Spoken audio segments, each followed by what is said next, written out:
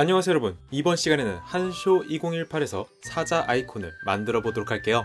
한쇼는 파워포인트 365와 다르게 도형의 선택지가 적기 때문에 사용자가 직접 도형을 만들 줄 알아야 합니다. 먼저 입력 메뉴에서 도형 그리기 상자에 있는 십각형을 선택 후 Shift를 누르고 크게 그려주세요. 이 십각형은 추후 사자의 갈기가 될 예정이기 때문에 원하는 사자 아이콘의 크기에 어울리게 그려주면 좋습니다 다 그리셨으면 다음은 오각형을 선택해서 사자의 얼굴을 원하는 크기로 그려주세요. 그리고는 오각형을 선택한 후 도형 서식 메뉴를 선택하여 회전 도구로 가줍니다. 여기서 상하 대칭을 눌러주면 V라인을 가진 사자의 얼굴형이 완성되죠. 다음은 사자의 눈을 그려볼 예정인데요. 평범한 눈보다는 선글라스 느낌의 눈으로 그릴 겁니다. 입력 메뉴에서 도형 그리기 상자에 있는 직각 삼각형을 클릭해 주도록 합니다. 그러면 마우스 커서가 그리기 커서로 바뀌게 될 텐데요. 이 상태로 사자 얼굴 한쪽에 가로로 길게 그려줍니다. 그리고는 회전 조절점을 이용하여 이런 날카로운 눈매를 만들어줍니다.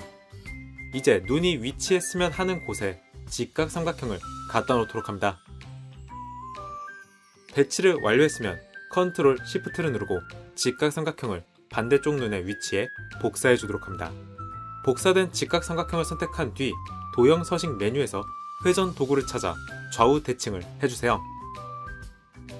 이렇게 눈을 완성했는데요. 다음은 코를 그려줄 차례군요. 입력 메뉴에서 도형 그리기 상자에 있는 이등변 삼각형을 선택 후 사자의 얼굴 중앙에 적당한 크기로 그려줍니다. 이 삼각형의 가운데 조절점을 클릭한 뒤 위아래로 납작하게 만들어주도록 합니다. 대략 이런 느낌으로 완성되었다면 이제 위에서 했듯이 삼각형을 선택한 후 도형 서식 메뉴에서 회전 도구로 가줍니다. 그리고는 상하 대칭을 눌러주면 이렇게 코가 완성되게 되죠. 필요하다면 약간의 크기 및 위치 수정을 진행하셔도 좋습니다.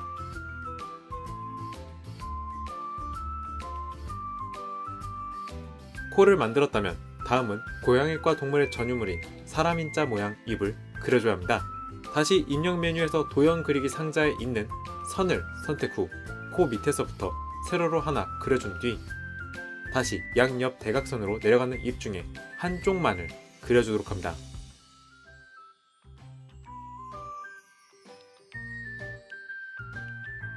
한쪽을 다 그렸으면 해당 선을 선택한 뒤 컨트롤 시프트를 누르고 반대편으로 움직여 복사해줍니다.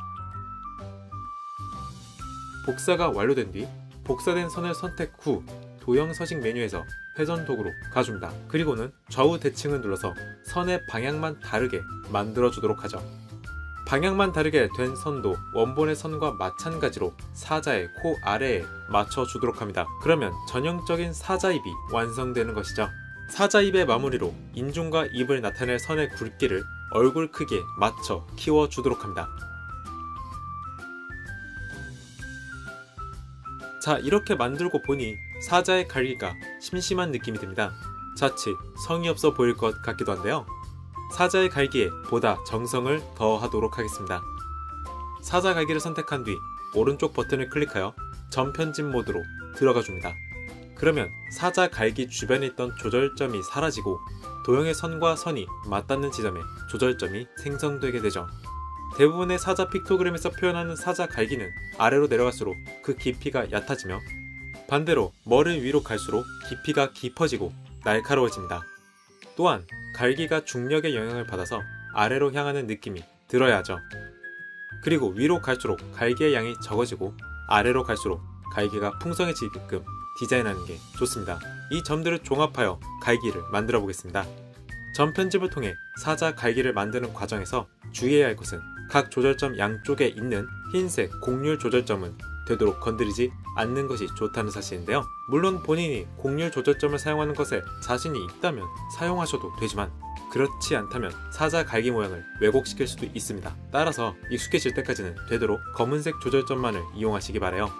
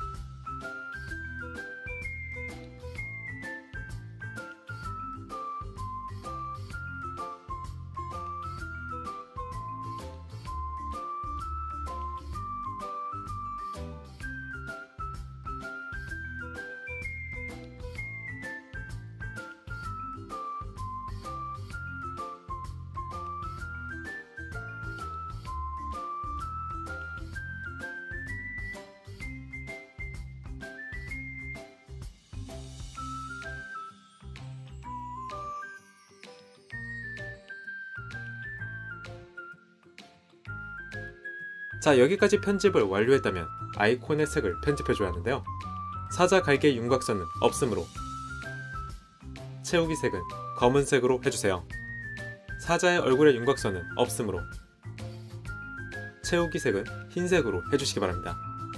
사자의 양쪽 눈의 윤곽선은 없음, 채우기 색은 검은색으로 해주세요. 사자 코의 윤곽선은 없으므로 채우기 색은 검은색으로 해줍니다. 사자 입과 인중의 색은 검은색으로 해주시기 바랍니다. 여기까지 원활하게 끝냈다면 검은색의 사자 아이콘이 탄생하게 되죠. 이 아이콘을 엠블럼이나 마크로 쓰고 싶다면 원형이나 사각형 도형을 불러와 적용하시면 됩니다.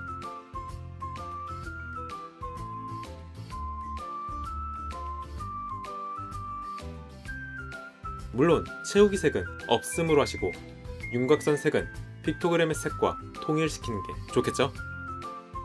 이렇게 한쇼로도 일러스트레이터나 포토샵에서 하는 일반적인 그래픽 제작을 할 수 있습니다. 여러분도 다양한 시도를 해보시는 것을 추천해드립니다. 이번 강의는 여기까지입니다. 시청과 구독, 좋아요 감사드립니다. 지금까지 큐브팀이었습니다.